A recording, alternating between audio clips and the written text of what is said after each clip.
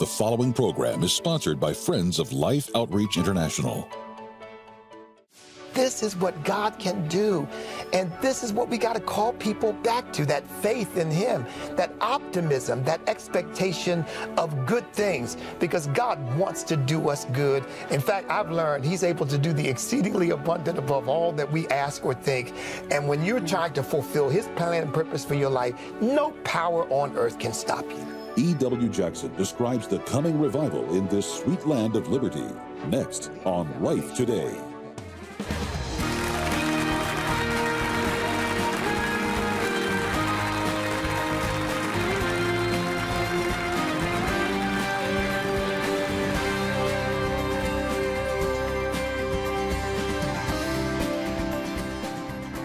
Betty and to invite these people to join our guest, E.W.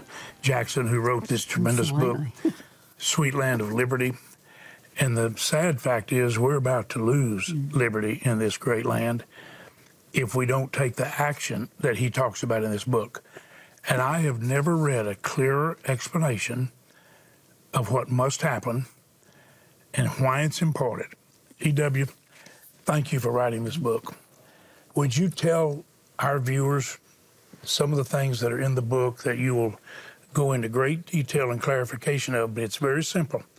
It's as simple a read, but as great and clear of truth as I have ever seen presented. And I, I could wish that every person in this nation would read this. By the way, the black community and, and minority community has resisted the effects of slavery throughout history, and they talk about it as, as though it's still on them, and it's not. And it's opportunity, which we all, all know. But don't you think that the black community and many in the minority community and many in the poor areas are being used to believe lies that lead to their continuing and increasing demise. They are going into a more horrible, indescribably damaging, deadly situation. That's what you seem to make clear. Well, James, thank thank you and thank thank you, Betty, for having me on to talk about this because this is critically important. I've said it this way: we are being taught to obsess over what someone else is doing to us, real or imagined, when we ought to be obsessing over what God wants to do through us. That's good. We are looking in the rearview mirror, but the Bible says where there is no vision, the people perish. It doesn't say where there is no backward gazing, but where there is no vision. And so this obsession with the past, I referred to it in the uh, earlier program. Uh, my ancestors got here, thank God. And people say, well, what do you mean by that? Well, think about Joseph. Joseph didn't spend time in Egypt mad at Pharaoh, mad at Potiphar, mad over how his brothers.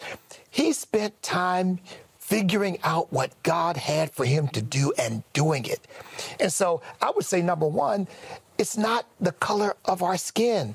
It's God. Put God first. I tell people, my identity is not in my skin color. It's not in my race. My identity is in Jesus Christ.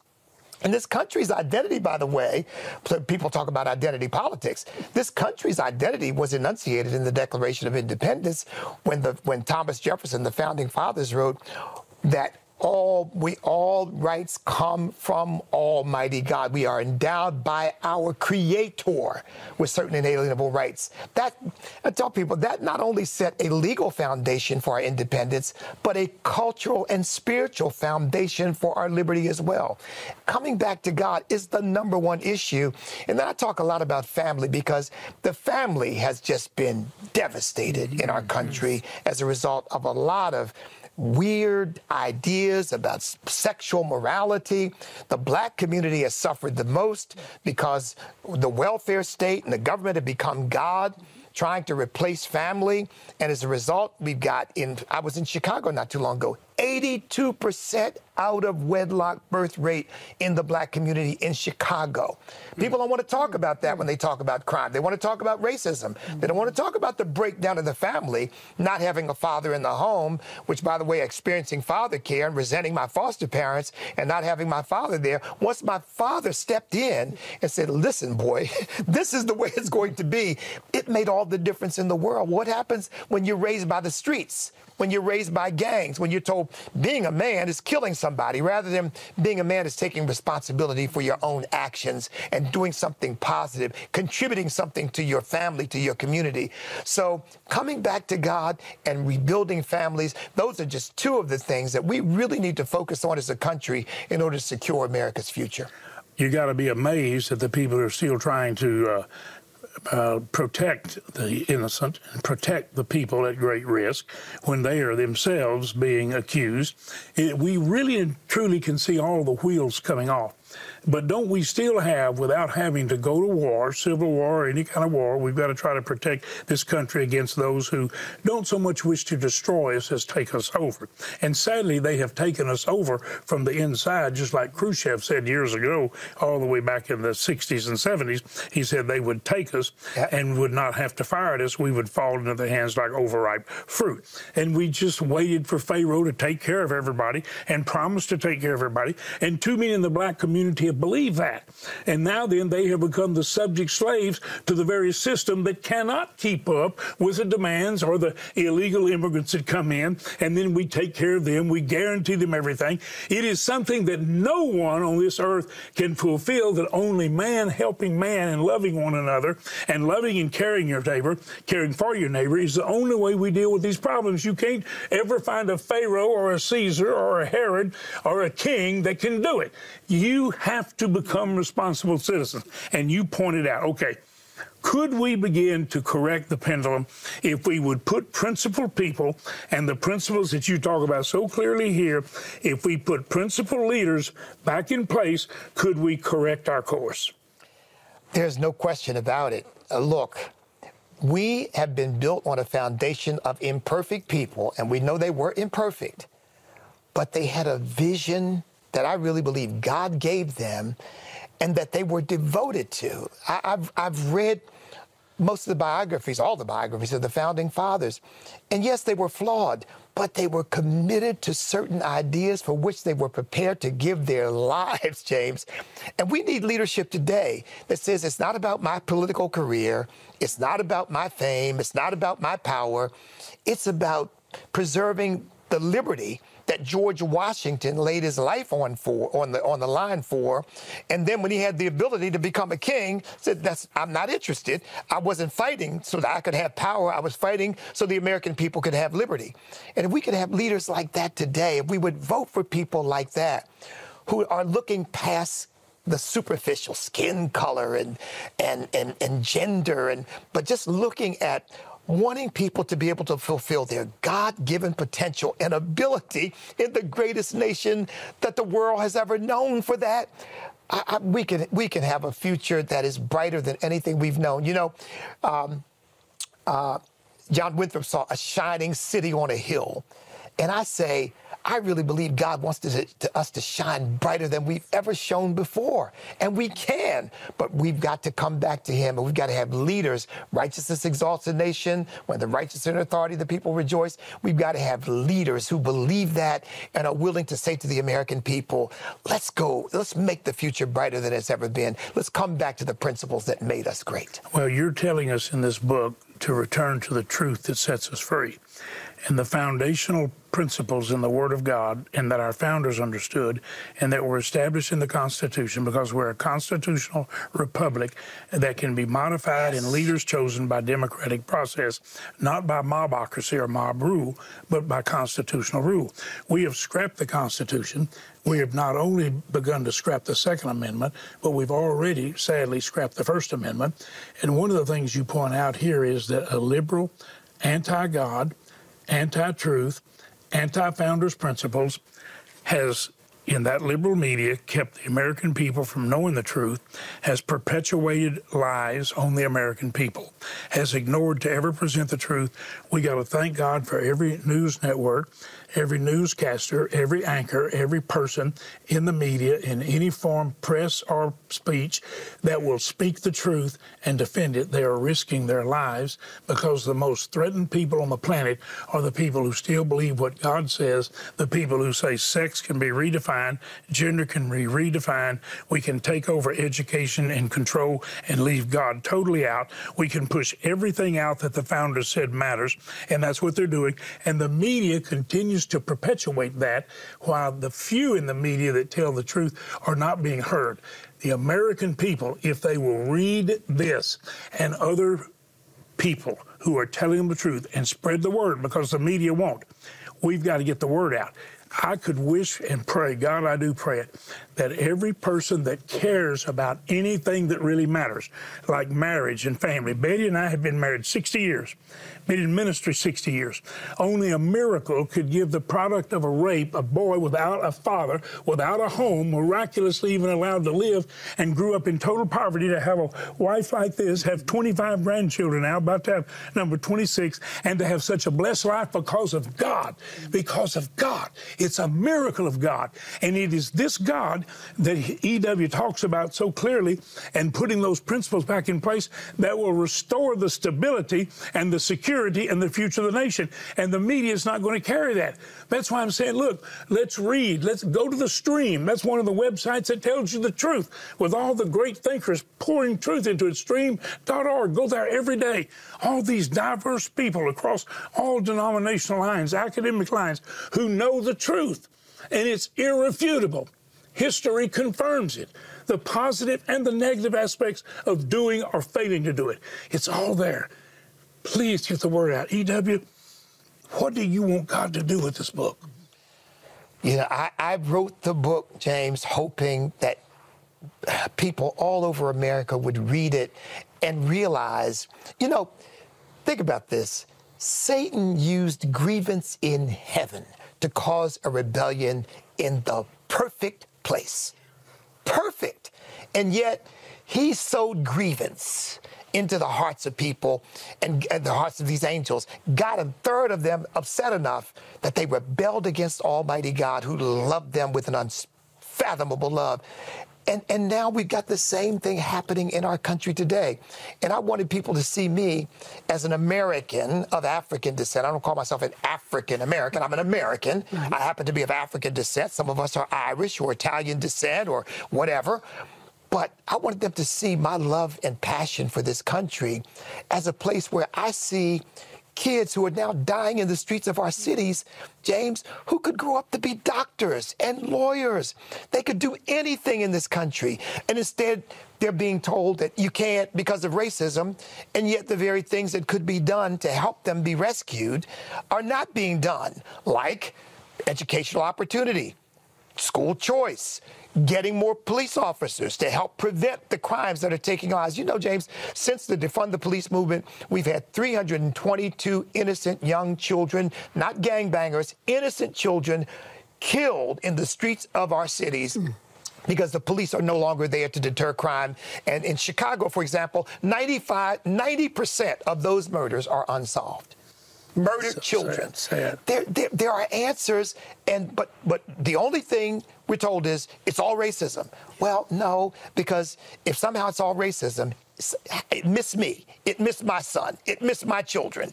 And it's missing people all over this country who are no, taking advantage of the opportunities because they're there. But there's certain things that we've got to impress upon people. You know, I say this one other thing. In order to mislead people, not only do you have to indoctrinate them, you got to censor the truth. Yeah. You got to give them the lie, and then you got to censor the truth. Because if they start to hear the truth, they'll say, well, wait a minute. Mm-hmm. The, the, the lie's not holding water here. Uh, and so we've got to really be committed to the idea that we're going to support the stream. every outlet that is getting the truth out there, we're going to put it out there. I'm on American Family Radio. We've got to have truth tellers out there dealing with the fact that people are being indoctrinated and telling them you're being lied to, you're being misled. And frankly, I, I, I, say that to the black community every time I have an opportunity because I really believe that that's what's being that's what's happened through this leftist ideology that is really uh, put them in a subservient position by telling them the white man won't let them and racism won't let them. That's a lie yeah. because God opens doors and no man can close them. And there's so many things that the individual can do. I'm so yes. I'm so hopeful when I see these parents finally going to the school boards and they're sa- standing up and say, "Hey, I want my kids back." Amen. They belong to me. God gave them to me to nurture and to grow up. And I'm so proud of the parents that are doing that.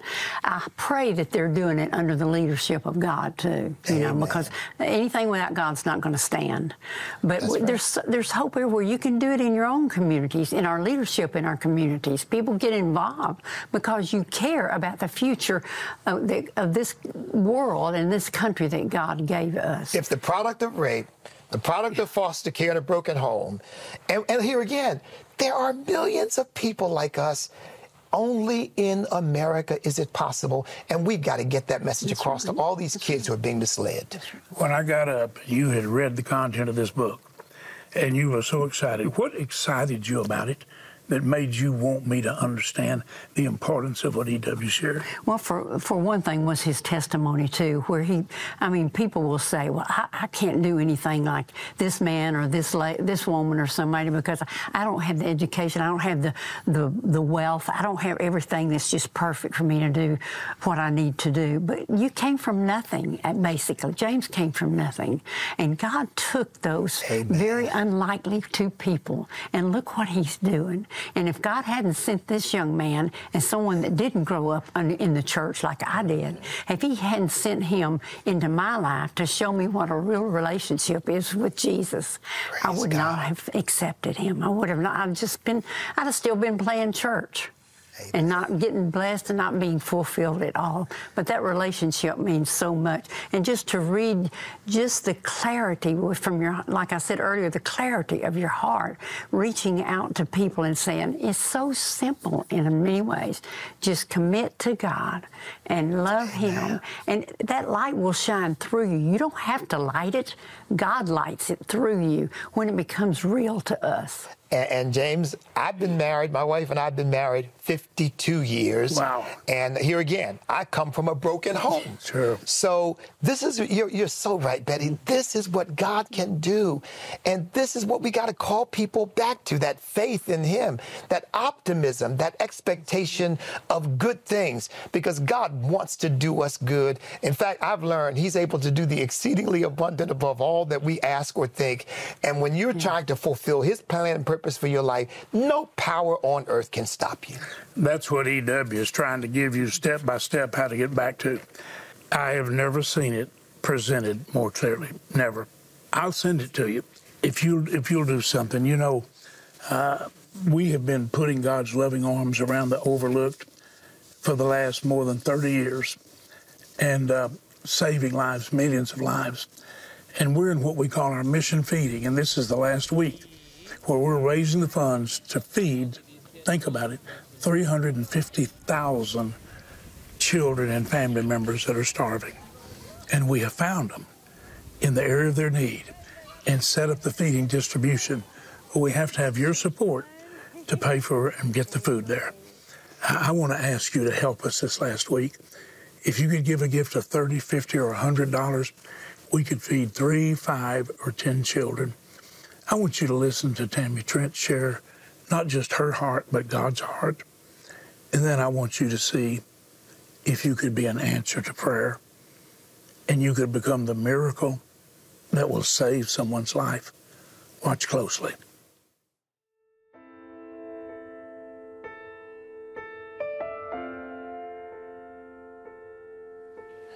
The things that I've seen, um, the things that I've gotten to experience, have been emotional. There's been some good days and there's been some bad days. Um, my favorite days are when I get to go into a village and, and serve the children, especially when I get to sit down and feed them a bowl of food that they get every day. And gosh, what an incredible moment that really is, knowing that uh, in that place, in that moment, I'm privileged to be a part of bringing them life through a bowl of food. And then you get in the car and the next day and you travel hours uh, to get to a clinic like this, only to um, sit in a place like this and to watch this precious little girl fight for her life because she doesn't have that one bowl of food every day. Her body's shutting down. She is dying. Um, and I wonder how long she has to live. I think that if she was in a village where there was a feeding program set up, how her life would be so very different. And I've seen the power in just one bowl of food, something so incredibly simple that brings life to so many hundreds of thousands of children. It's hard to watch any child die knowing that there's something that we could do to help prevent that death. Tammy, I know you watch the shows and you check in. Thank you for putting God's arms around so many children all over the third world and all over Africa. Betty, I know when, I don't, I don't know if you noticed, but that little child there at the mm. first one, Tammy referred to feeding him, and that little child put that spoon up to his mouth. Just look, look at that. Look, look at that little bowl, little food. How, how could we not want to put food in that child's mouth when we can and know that it would keep them from ending up in that, in that malnutrition clinic? But Betty, do you know what keeps them from going there? We start feeding them where we find them and they're starving and we set up the feeding lines and the feeding programs. And that's why we're asking you to help us right now feed 350,000 children like that that we have found to feed. And do you know how the malnutrition clinics came to be? We said we're going to give it one more shot. Whatever it takes, and, and you establish those clinics. You, your love, God's love through you. You, we do everything we can to do what?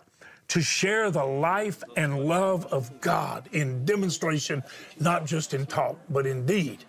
And that's what we're asking you to do. It's really what EW and I have been talking to you about mm-hmm. doing today about literally changing the direction of this nation to come back to the freedom that made us great and keeps us great and gives us the ability to be a blessing because we're so blessed by the reality of freedom. Now then, we are blessed. There are many of you right now who have the ability to help us feed hundreds of children. Do you know that for 30, 50, or $100, we can feed three, five, or 10 children for the next months? And we've got 350,000? I mean, think about it. Think what a thousand dollars will do. Think what if, if could you help us feed 10 with a hundred? Whatever you can do, we have some gifts to send you to say thank you because we always want to put in your hand something that will go into your heart and that will refresh you spiritually and bless you and your family. But you are giving the greatest gift. You're giving those precious children. Jesus called the least of these, the unnoticed. But when you do this, you are my sheep. And you will prove to be my disciples by the way you do it together in supernatural unity. This is the last week. Would you right now, please, go get your bank card, your checkbook, call that number or go online. If you write a check, call us and tell us what you're putting in the mail. Make the biggest gift you can. You are giving life. Go online, use your bank card like a check. That's how you should always use them. And we have gifts to send you, but remember this you really are giving the greatest gift. And we're going to tell them where it came from the love of God through Jesus. And in demonstration, they're going to see that love and come to trust Him. You can count on it. Thank you so much for putting God's arms around someone. Thank you. Across the continent of Africa, children are suffering, facing severe malnutrition and even death. With food reserves gone and many areas experiencing severe famine, we urgently need to replenish supplies to keep feeding the 350,000 children who are counting on us. Through Life's Mission Feeding Outreach, your gift of love can be an answer to prayer for a hurting and hungry child in their time of need. Call now with your life saving gift of $30, $50, or $100 to help feed and care for three, five, or 10 children for three full months. With your gift of any amount, we'll send you 365 days of courage. Filled with scriptures and words of encouragement, this daily devotional will give you the confidence that comes from knowing how God sees you. Take courage in Christ's love and be ready to conquer each day. With your gift of $100 or more, please request the Blessing Framed Art. This beautiful wall art will grace your home or office and serve as a daily reminder of God's blessing and kindness over your family. Finally, with your gift of $1,000 or more to help feed and care for 100 children, be sure to request our inspiring bronze sculpture, Consider the Birds, inspired by Jesus' words in Matthew 6:26. This is the last week please call, write, or make your gift online. James, Betty, I know your heart for the people of Africa. I know, Betty, how you've just always connected your heart with the mothers here in these communities. James, your heart for the children, the children like little Buddy that so often are the ones that pay the biggest price, that suffer so dearly. And that is what we're seeing right now. We're seeing crisis at the level from a malnutrition and, and near starvation perspective here in Angola like I have never seen before. We cannot bring an end to this crisis. We cannot save the lives we need to save without you. We need you to open your hearts today. So please, I'm asking you to dial that number on your screen or to get online and to give the very best gift that you can give today, to give the gift of life by giving the gift of food. This uh, framed picture, bless our family, and this scripture will bless you. You have, you've just blessed someone's life by giving the greatest gift. You're giving life by giving them the food. Thank you. Make the best gift you can this last week. We have gifts to send you, and I will send you if you'd like to have it. E.W. Jackson's book, Sweet Land of Liberty without a move of God that's going to come through all of us, we're going to lose the liberty yeah. that was purchased at great price and is precious. I think we're going to see the greatest awakening in history. And EW, I think you're a part of inspiring that awakening, and I love you with all my heart, my brother. And we're going to do our best to get the family of God to stand up in supernatural unity with one head Christ and get his arms around the world that he died to redeem. And I'm standing with you, James. We're going to do that together. Yes, indeed. Thank you so much for being a friend of life. Thanks for watching life today. And like I've said many times, thanks for sharing life because that's what we do together. And I mean, we do it together. Thank you.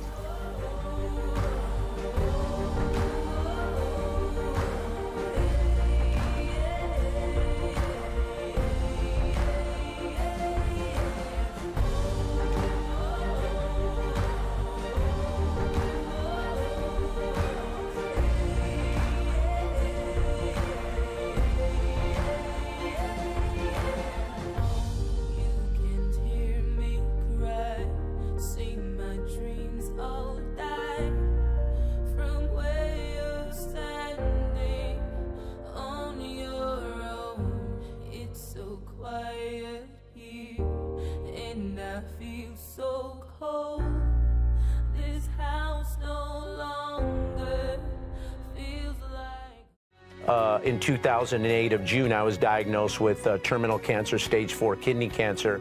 Diego Mesa overcame cancer through natural remedies.